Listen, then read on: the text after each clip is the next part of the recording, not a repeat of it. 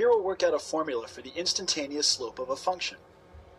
Here's a function, and here's a point on that function. Which of these lines is the tangent line for the function at this point? Around this point here, the function looks sort of like this. If we were to zoom in even further, the function would look basically like this there. It would look exactly like a line. You wouldn't be able to tell the difference because the curvature would be very, very slight. Which line does it look like? Well, it looks the most like D out of these choices here, so we call that the tangent line.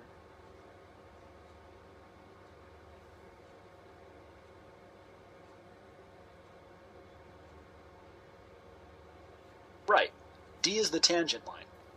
Now the slope of this tangent line is called the instantaneous slope of the function at this point. In this tutorial, we'll come up with a formula for the instantaneous slope of a function. But let's put some numbers in here to help us think about this. Let's suppose that the x-coordinate of this point is 2. And let's draw a line that goes through this point and then hits the function again over here, where x equals 5. What's the slope of this line? In order to find the slope of this line, we need to know the x and y coordinates of these two points. The x coordinates are labeled down here, but the y coordinates are not. What's the y coordinate for 2? Well, it's the number that comes out when you put 2 into the function, so that's actually just f of 2. The y coordinate for 5 is f of 5. So now, to find the slope, we can just take the y coordinate of the second point minus the y coordinate of the first point and divide it by the x coordinate of the second point minus the x coordinate of the first point.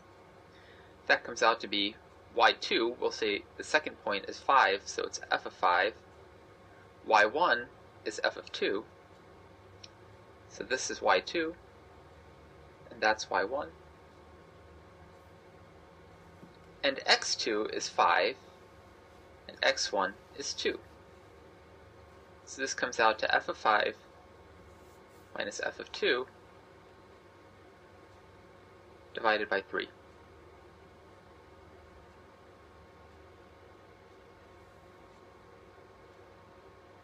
Exactly. Let's quickly see how you got that. To find the slope, you need the y-coordinates of these two points. Their y-coordinates are f of 2 and f of 5. Now the slope of a line is the difference between the y-coordinates divided by the difference between the x-coordinates. So that's f of 5 minus f of 2 over 5 minus 2. And 5 minus 2 is 3. So this is the expression you got for the slope of this line. Now let's move this second point along the curve so that it's closer to the first point over here. Let's say we move it so that its x-coordinate is now 2.5. What's the slope of this line? Again, to find the slope, we need to know the y-coordinates of both of these points. The y-coordinate of this point here is f of 2.5. So the slope is the change in y here, which is f of 2.5,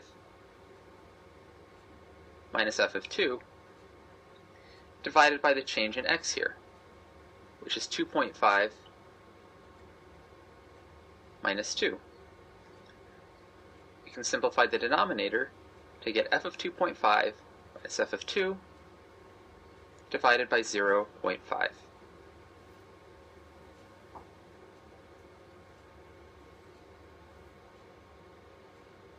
Right. It's f of 2.5 minus f of 2 over 0.5. And the 0.5 in the denominator is the difference between the x-coordinates of these two points. Let's say we move the second point so that it's really, really, really close to the first point. As the two points get closer and closer together, this line connecting the points becomes the tangent line that you found earlier. Can you find an expression for the slope of this tangent line?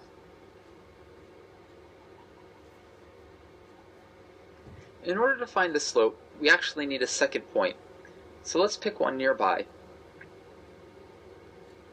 Because it's nearby, we can say its x-coordinate is 2 plus a small number. Let's call it h. That makes the y-coordinate f of 2 plus a small number h. What's the slope of this line? Well, it's the change in y over the change in x. So the change in y is f of 2 plus h minus f of 2, and the change in x is 2 plus h minus 2. If we simplify the denominator, we get that 2 minus 2 is equal to 0, so what we're left with is just h. Okay, now to find the slope of the tangent line, we're interested in what happens as this point gets closer and closer to that point, or as this x-coordinate gets closer and closer to that x-coordinate.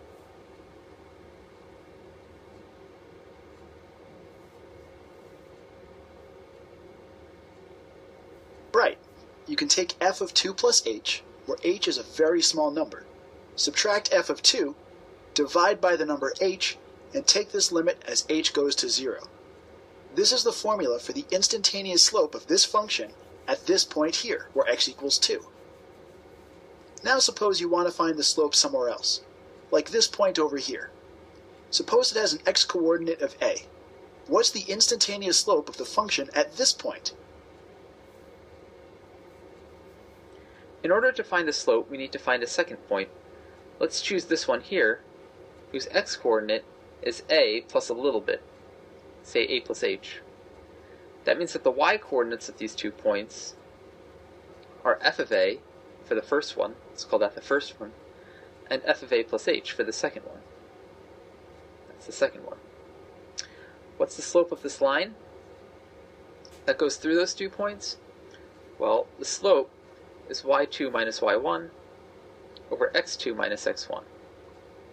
So here, it's going to be f of a plus h minus f of a over a plus h minus a. Doing the subtraction in the denominator is going to leave us with nothing but h. So that's the slope of this line here. Now we're interested in what happens when point 2 gets very, very close to point 1. If they're right next to each other, then we're basically going to have the slope of the tangent line. If point 2 is moving closer and closer to point 1, another way of saying that is that this x-coordinate is moving closer and closer to this x-coordinate. Which of the answer choices looks like that? Correct. We can replace the 2's in this formula with a's. So you just found the formula for the instantaneous slope of a function f when x equals a. It's the limit as h goes to 0 of f of a plus h minus f of a over h.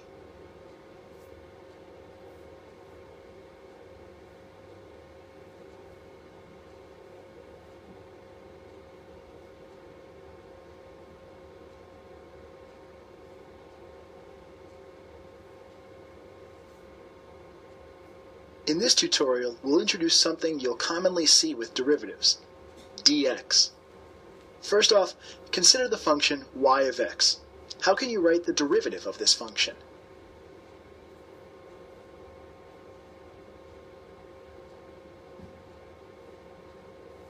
Exactly. You can write the derivative of y of x as y prime of x. There are a few other ways to write down the derivative of a function. Here's one way. This d over dx here means you're taking the derivative of whatever function is in the parentheses after it.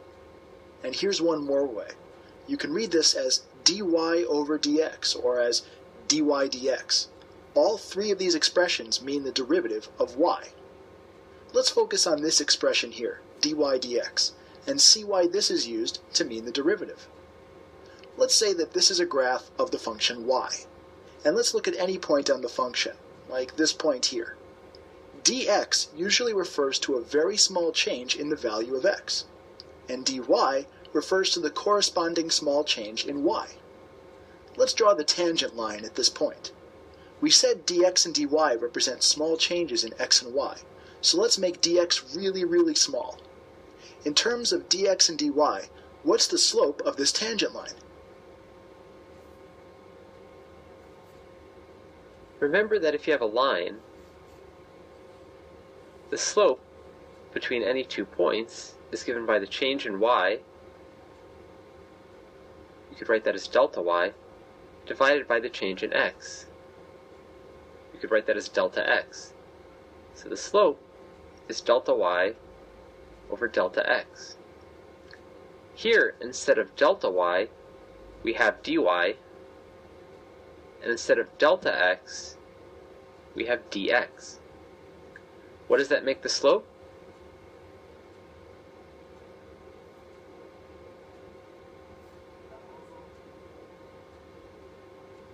Right, as dx and dy get really, really small, dy divided by dx approaches the slope of the tangent line.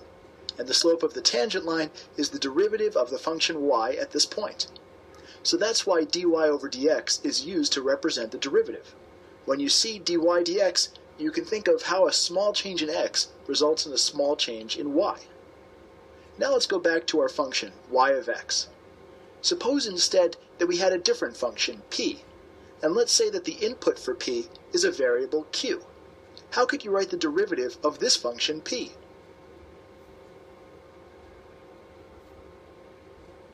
We can still use all three of these expressions, but now we want to change all of the x's, the inputs, to q's, and all of the y's, the outputs, to p's.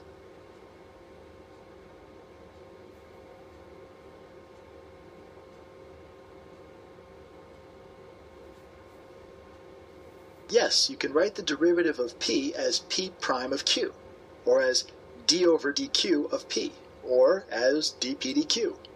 The input of a function doesn't always have to be called x, so you won't always see a dx in these expressions for the derivative. Because it's not always clear what the input of a function might be, the clearest way to read these expressions is to say the derivative of p with respect to q. Let's look at a real-world example. Here's a graph of how far an Olympic sprinter travels when running the 100 meter dash. T is the variable we'll use to represent time, and Z is the distance the runner has traveled, so Z is 0 at the starting line and 100 at the finish line. It looks like this sprinter took about 10 seconds to run the race. Let's look at a short time interval over here, and the associated change in distance. This change in time we can call dt, and the change in distance we'll call dz. How would you write the derivative of this function?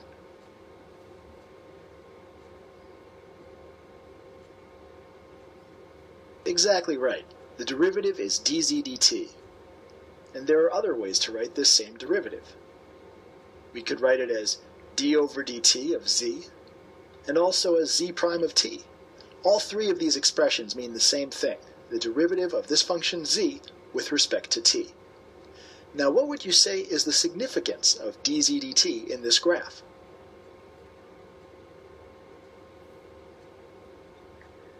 Dz dt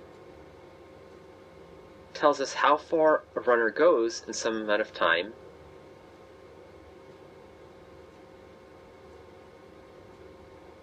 and dt is how long it takes him. So if dz divided by dt is very big, that means he's gone very far in a short amount of time. And if dz divided by dt is very small, that means he's not gone very far in a long amount of time.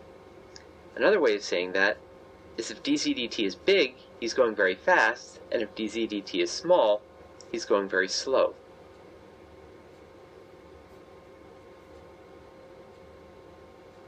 Nicely done. Yes, dz dt, the derivative of this graph, represents the runner's speed. Speed is a measure of how fast you're traveling, meaning how far you move divided by how long it took. So if you divide the change in distance, dz, by the change in time, dt, that gives you the runner's instantaneous speed, meaning the speed at this point here. So the derivative of this graph is the runner's speed. Early in the race, the derivative is smaller, and as the race goes on, the derivative is increasing, meaning the runner is getting faster. Now the units for distance are meters, and the units for time are seconds. So what are the units for the derivative, dz dt? Z is a distance measured in meters, so dz, a little bit of distance, is also going to be measured in meters. dt is a little bit of time, and time is measured in seconds here. So dt is going to be measured in seconds. When we take dz and divide it by dt, we're going to be taking meters and dividing them by seconds. So the units of dz dt are meters per second.